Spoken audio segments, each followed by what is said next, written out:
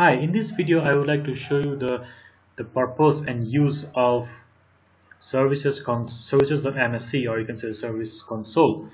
For that, go to the start and then type run and then type services.msc. Hit OK.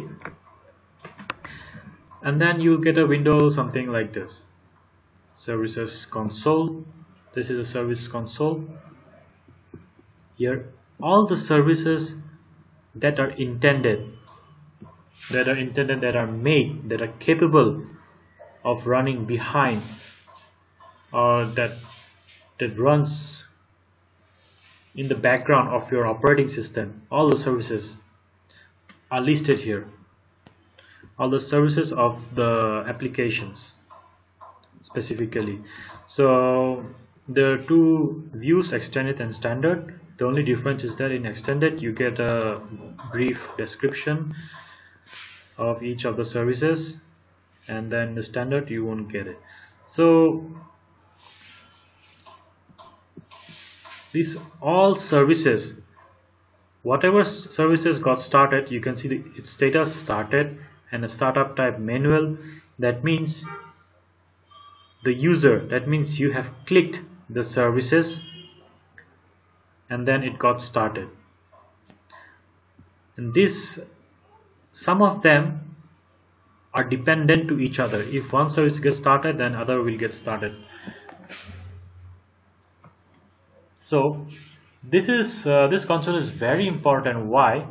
Because sometimes what happens when you install a software like Adobe Reader or any Apple softwares there are unnecessary softwares like updates are still still runs in the background.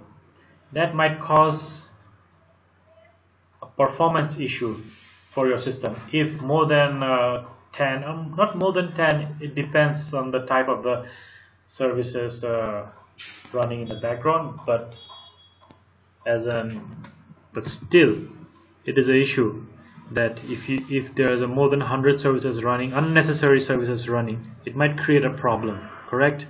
So in order to stop that unnecessary services we can use this service console where you can click each of the services and then you can double click it and you can manually disable it or you can use select the type startup type manual automatic or disabled.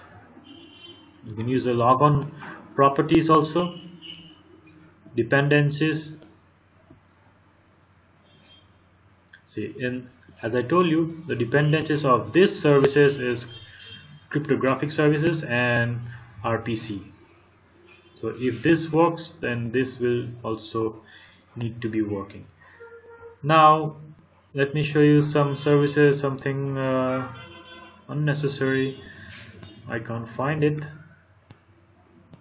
Since I don't have much yes the this firewall. Or firewall or, or this event log. This services manage events and event logs. It supports logging queries as you can see the description. Now double click this. It says automatic this service will automatically get started whenever the computer gets powered on. Now let's check the dependencies. Doesn't have any dependencies but the following system components depend on this service. So you have task scheduler and the event controller. Now for this you can select a type and you can also stop if you want then stop. Okay. Access is denied because uh, due to administrative uh, account.